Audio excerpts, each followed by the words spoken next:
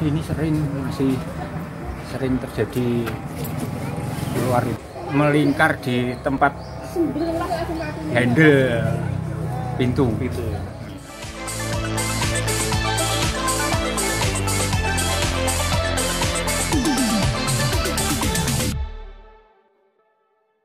Ular kobra sepanjang hampir 1 meter muncul di dalam rumah salah satu warga Kelurahan Karang, Kecamatan Tuban, Kabupaten Tuban. Ular tersebut diketahui muncul sekitar pukul 8 lewat 30 menit waktu Indonesia Barat, melingkar di handle pintu rumah milik Nur Erwan. Sontak pemilik rumah yang mengetahui kemunculan ular itu langsung melaporkannya kepada BPBD Kabupaten Tuban. Petugas tim reaksi cepat atau TRC BPBD Kabupaten Tuban yang mendatangi lokasi rumah langsung melakukan pencarian terhadap ular berbisa tersebut.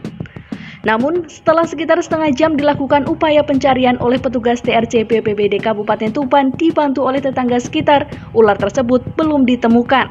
Warga setempat Imam Iswayudi yang ikut membantu pencarian ular mengatakan meski upaya pencarian belum membuahkan hasil, namun dia memperkirakan ular tersebut masih ada di dalam rumah sebab pintu rumah tempat munculnya ular masih tertutup semua.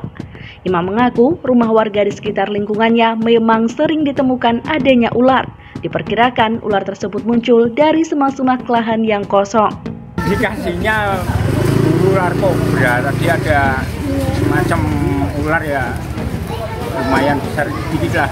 Tapi setelah dicari-cari sama petugas damkar kok sampai kurang lebih setengah jam tidak ada Kelihatannya lari ke mana itu?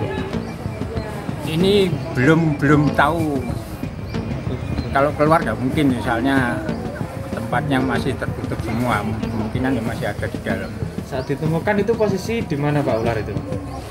melingkar di tempat handle pintu Itu. Dari Tuban, Tim Liputan Blog Tuban TV mengabarkan.